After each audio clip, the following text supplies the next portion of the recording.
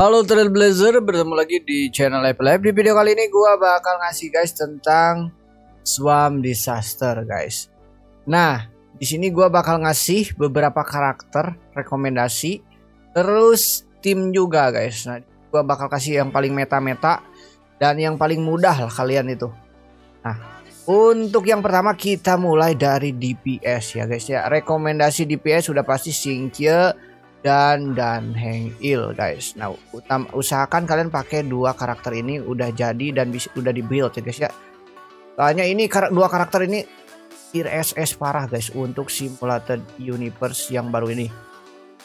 Terus untuk DPS lainnya gimana bang? Nah kalian bisa masukin Kapka atau si Blade guys. Untuk yang lain gua kurang rekomendasi guys. Tapi kalau kalian mau coba ya gas saya guys. Tapi kalau gua udah pernah coba dan alamin empat karakter ini carry parah dan bisa mempermudah kalian untuk menyelesaikan tingkat kesulitan yang kelima. Nah ini untuk rekomendasi DPS guys. Nah untuk rekomendasi support. Support itu udah pasti kalian wajib bawa si Pela kalau kalian main Ice. Terus kalian Yukong, Silver Wolf, dan si Alpine. Rekomendasi support dari gua. Tergantung weaknessnya apa kalian ambil guys. Kalau misalkan Imaginary baca kalau pakai si Yukong. Kalau kalian misalkan pakai si Il. Terus si Pela kalau kalian mau main Ice sama si Seven kalian bisa pakai Pela. Terus Duel juga bisa Silver. Bisa bantu-bantu lah sebelum kita melawan si Kumbang guys. Nah itu untuk rekomendasi support. Nah untuk rekomendasi Shielder guys ada tiga. Tapi ini tuh yang paling OP udah pasti si Gepard guys. SS Jepard parah, tier SS parah guys. Salah satu karakter core untuk menyelesaikan simulated universe. Kalau ada si Gepard udah pastilah kalian itu udah pasti lulus. Yang penting mah kalian babnya gacor terus terus partinya cocok. Nah, core-nya itu udah pasti di si Gepard ya guys ya. Nah kalau kalian gak ada Gepard, nah kalian si Marsepen sandingin sama Luocha. Tapi kalau kalian Marsepen sandingin sama Bailu sama si ini takutnya nggak survive guys. Asli berat. So, soalnya si kumbang sakit banget guys asli. Chilmar Seven soalnya nggak ngasih ke semua karakter. Kan ke beberapa karakter doang kecuali kalian E6 mungkin bisa langsung dua builder mungkin ya. Tapi agak berat. Terus kalian juga harus ngambilnya persepesion lagi. Berat guys asli. Jadi kalian kalau misalkan nggak ada Luocha nggak ada Jepar mending kalian nunggu Puksuan aja dah atau kalian ngulik-ngulik bab try hard boleh juga digas nah itu guys. Nanti satu lagi udah pasti ada puksuan guys. Anak ama puksuan aman guys. Kalian nggak punya gepard gacha puksuan aman. Suam disaster guys. Nah itu untuk rekomendasi tanknya guys. Nah untuk rekomendasi healer udah pasti cuma tiga ini guys. Healer. Healer cuma tiga guys. Nanti paling ada siling nah siling mungkin sama Marseper masih oke okay lah. Tapi untuk dua karakter ini guys. Waduh repot guys Soalnya dua karakter ini gak bisa si Bailu gak bisa ngilangin di bab. Si Natasha bisa ngilangin di bab cuman cuman satu karakter. Nah nanti si Link, si Link itu bisa ngilangin di bab untuk seluruh karakter kita guys ultimate-nya. Nah jadi si Link itu pasti udah pasti bakal meta di simulator universe nanti guys. Kalau misalkan dia udah rilis soalnya dia udah pasti sama Puksuan sama Sele sama si Bob atau sama misalkan sama Singkye nih udah pasti meta guys ya.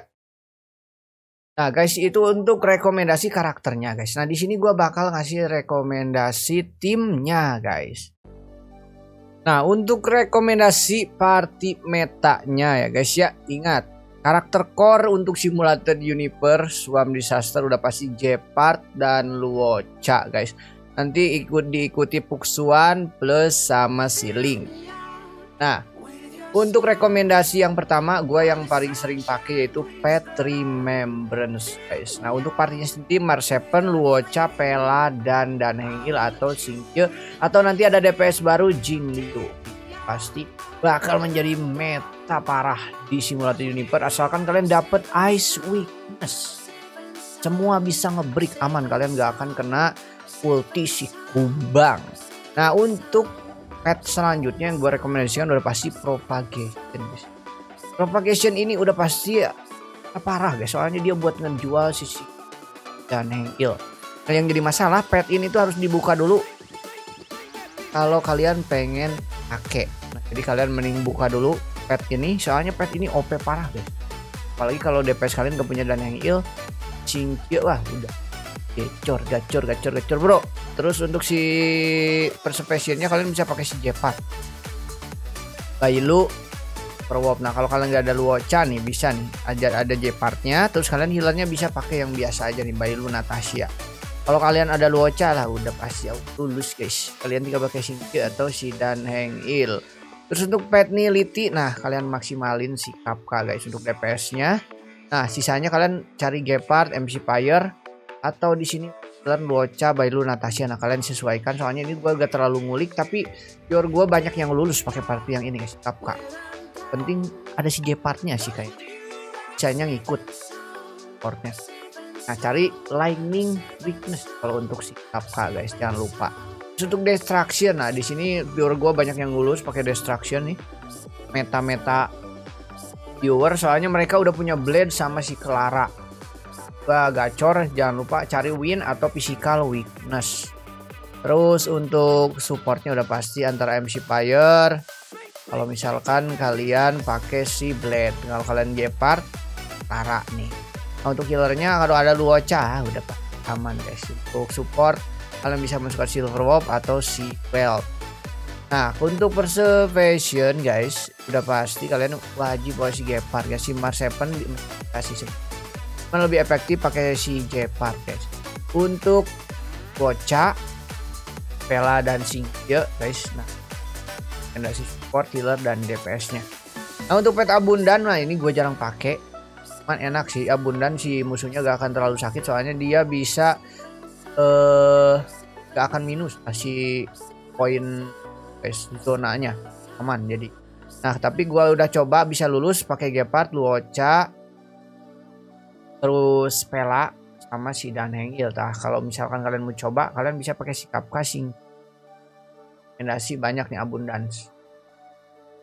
Guys untuk rekomendasi party meta yang gua udah pakai dan bisa lulus di difficulty 5 nah semoga videonya bisa membantu guys. Nah di, di video selanjutnya gua bakal ngasih rekomendasi benda langka dan blessing yang wajib kalian pakai guys saat kalian uh, menyelesaikan Suam disaster difficulty 5. Nah, sampai bertemu di video selanjutnya. See you next time. I miss you.